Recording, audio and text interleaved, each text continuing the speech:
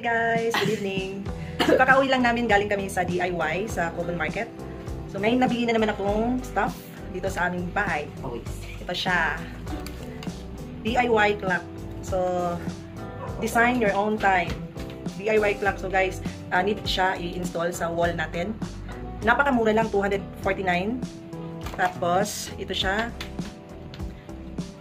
Hindi pa kasali ang battery. 29 pesos, apat na battery. So, ito yung mga kasama niya. Color black ang binili namin guys kasi yung kulay ng paint namin is light color. Yan. Ang materials niya is rubberized para siya chinelas. Yan siya. oh. Siya, mayaw! So, dito siya, dito namin siya, ah, sorry. dito namin siya install guys, ang clock. Hindi na kami bumili ng mga mamahaling mga clock guys kasi walang budget. Dito na kami sa mura pa, maganda pa siya. Yan, so, so bali ito guys, hindi na kayo mahirapan magdikit kasi maglagay ng mga pandikit kasi naka-adhesive na siya. May double-sided tape na siya sa likod guys, kasama na. Tapos may mga instructions dito nakalagay. Ayan siya. So, ang instructions sa kalagay dito, may step 1, tanggalin yung layer, cover, tapos may step 2 until step 6. So, ang step 6 is enjoy!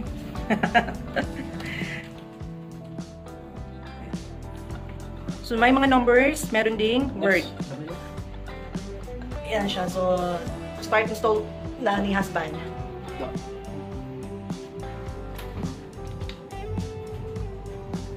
Seven. Tapos ito guys, ito yung uh, taw say, tawagan niyan. Num ito yung mga numbering, ito yung measurement or numbering position manual. So dapat kailangan ito para may guide kayo sa paglagay ng mga numbers and letters para hindi siya dili siya mahiwi. Siya mawala niya. Ay yun ilabti siya. Kailangan kayo na.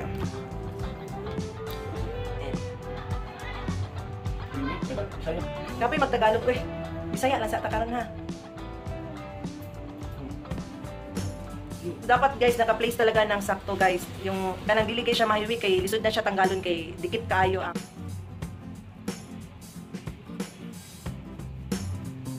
So, i-check natin ang number kung kompleto ba siya. So, meron tayong 1. Asang 2? Where's the 2? 2. 1, 2, 3. Hello, wala number 3. Di mo gina number kita kan kita. Ah, 6, may 6. Ito. Word na siya word. So, 1 to, ang 3, number 3 is letters. Then, 4. 5. 6 is letters. Tama ba letters? 7, 8. So, hindi sila pantay-pantay ang size, guys. So, meron ding isang 1. Wala. Meron doon ka 1 han. Ah, 11. Ang kani 1. Okay, so may 0, may 10, 10, 1. Support ko sa kwan Shelby. Next. Ha? So, excited ako guys kasi parang maganda yung pinalalabasan nito. X ba?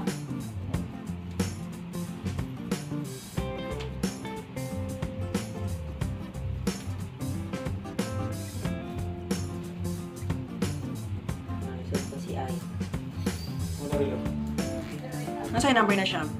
6, 12, and 3, and 9. The rest, numbers na siya. I daw siya, I.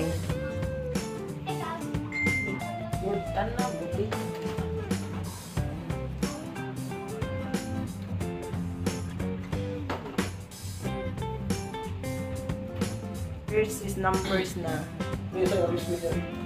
Para hindi kayo mahirapan sa guide guys, na maglagay doon sa wall. So may guide kayo dito. Ayan siya. So yan yung sundin nyo para hindi kayo magkamali. Kasi once na nadikit na, mahirap na tanggalin. Super dikit kasi yung ano guys, double-sided tape na nilagay. Hindi, nitaitan. Ano, usa rin na? Duct tape. Usa na siya? Sa pagpilit. Adhesive. Eh. Sunod na sa kuha na. Likod na sa I. Ay, laging din.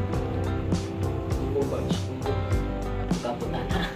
So, tapos na nating na-install ang mga numbers and words. Next naman is yung sa gitna, guys. Yung Diba, ang ganda. Mura pa, pero maganda na siya. So, lagyan natin ng battery ang clock. before natin i-install doon, idikit sa wall. And make sure na tama yung clock na na-set ninyo para hindi na ninyo, hindi na kayo mag hindi nyo na ulitin pa. Tanggal-tanggal lang siya pa. Okay.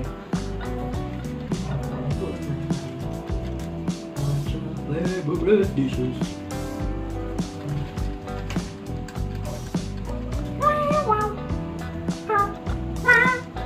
Tingog di mo siya. Basta kaya na.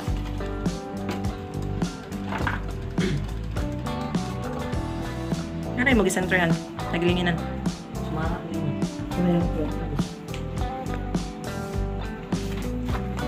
Hey.